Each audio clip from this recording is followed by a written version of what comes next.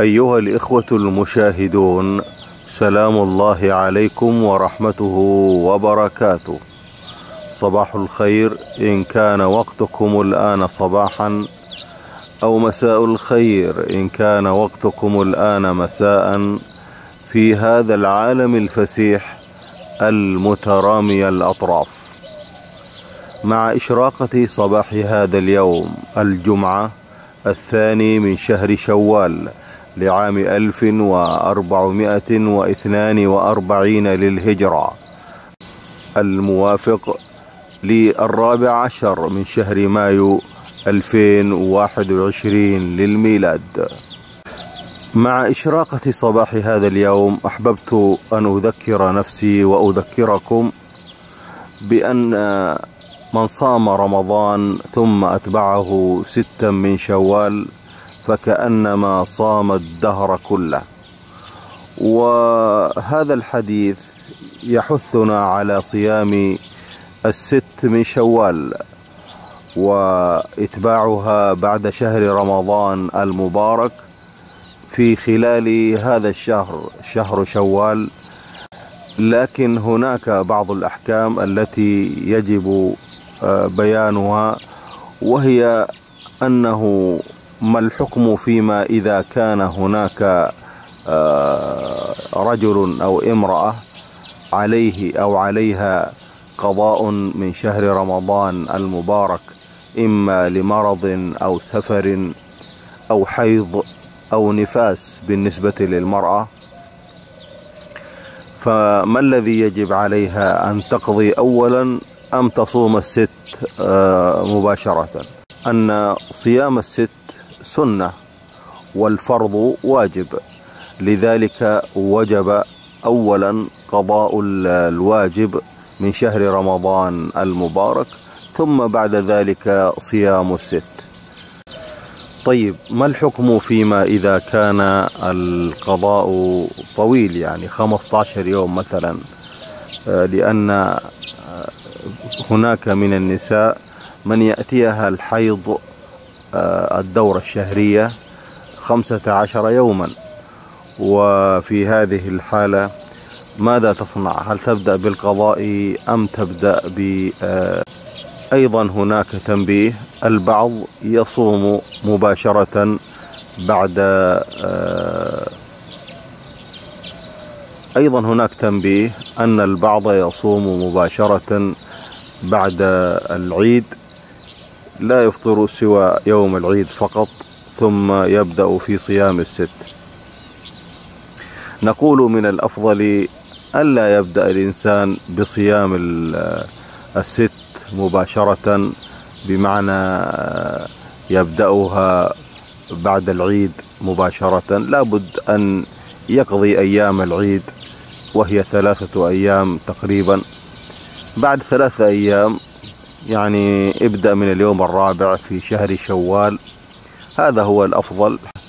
أما أن يأتي أحد لزيارتك مثلا أو أنت تأتي إلى أحد لزيارته وفي العيد ثم يكتشف حينما يقدم لك القهوة مثلا أو حلاوة العيد أو الأكل يكتشف أنك صائم.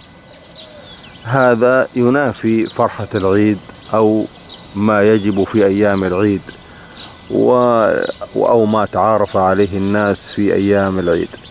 لذلك من الأولى أن تصوم بعد تصوم من الرابع من شهر شوال بعد قضاء ثلاثة أيام وهي أيام العيد.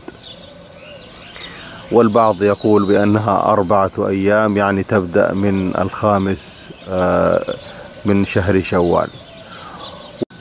الحديث يقول عن أبي أيوب الأنصاري رضي الله عنه أن رسول الله صلى الله عليه وسلم قال من صام رمضان ثم أتبعه ستا من شوال كان كصيام الدهر.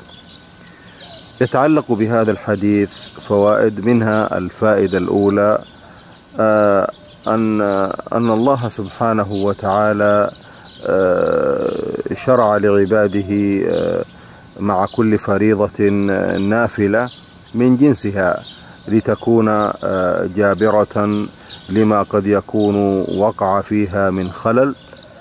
ومثل النوافل آه، في آه، مع الصلوات المفروضة ويعني السنن الراتبة مع الصلوات المفروضة. وصيام الست مع رمضان الفرض. الفائدة الثانية إطلاق الحديث يدل على أن كل شهر شوال هو موضع لصيام هذه الست سواء صامها متفرقة أو متتابعة من أوله أو من آخره. فالأمر واسع والمبادرة بالعمل لصالح آه، فالأمر واسع. الفائدة الثالثة من المسائل المتعلقة بصيام آه، ست من آه، شوال. آه، أولا أنه لا يتم هذا الفضل إلا لمن بادر بقضاء ما فاته من رمضان أولا ثم أتبعه بست من شوال فيبدأ بالقضاء أولا ثم يصوم الست من شوال. ثانيا يتوهم بعض الناس أن من صامها عاما لزمته في كل عام. ولذلك يتقاعس عن صيامها حتى لا تجب عليه بعد ذلك. وهذا كلام باطل لم يقل به أحد من أهل العلم ولا دليل عليه. ثالثا من شرع في صيام يوم من الست ثم بدا له أن يفطر لأمر عرض له فلا بأس بالفطر لأن صوم التطوع يجوز قطعه ويصوم بدلا عنه يوما آخر بخلاف صوم القضاء فمن شرع فيه آه لم يجز له قطعه إلا بعذر شرعي كسفر أو مرض. رابعا يصح صيام الست من شوال بنية آه من النهار فلا يشترط في صيامها تبيت آه النية من الليل لأنها من صوم التطوع. يعني يقصد أنه لو أصبح من آه، دون أن يتسحر أو ينوي ثم بدا له أن يكمل يومه كصيام الست آه، فلا بأس بذلك. فيجوز آه، لأنه صوم تطوع ولا يجب له النية. هذه الست ليس لها أيام معدودة معينة بل يختارها المؤمن من جميع الشهر. فإن شاء صامها في فإن شاء صامها في أوله وإن شاء صامها في أثنائه وإن شاء صامها في آخره وإن شاء فرقها وصام بعضها في أوله وبعضها في وسطه وبعضها في آخره. الأمر واسع بحمد الله وإن بادر إليها وتابعها في أول الشهر كان ذلك أفضل من باب المسارعة إلى الخير ولكن ليس في هذا ضيق بحمد الله. والمراد بأنه المسارعة في آه، آه، بعد رمضان مباشرة ليس المراد بها كما ذكرت لكم آه، أن بعد العيد أو بعد يوم العيد مباشرة يجب عليه الانتظار على الأقل ثلاثة أيام. يعني لأيام العيد لا ينبغي أن يتجنب صيامها حتى يستطيع آه، أن يخالط الناس ويأكل آه، أكلهم ويشرب معهم. أيضا حتى يفصل بين آه، صيام صيام الفرض في رمضان وصيام التطوع في شوال. أحببت أن أذكركم وأذكر نفسي بهذا بهذه الأيام المباركة أو الفضيلة من شهر شوال.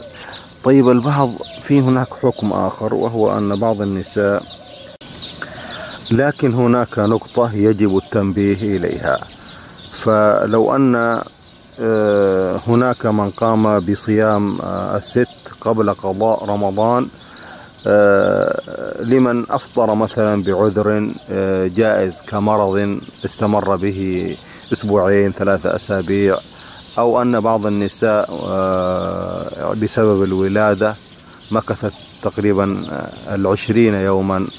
فإنه في هذه الحالة لا بأس بصيام الست من شوال قبل قضاء رمضان.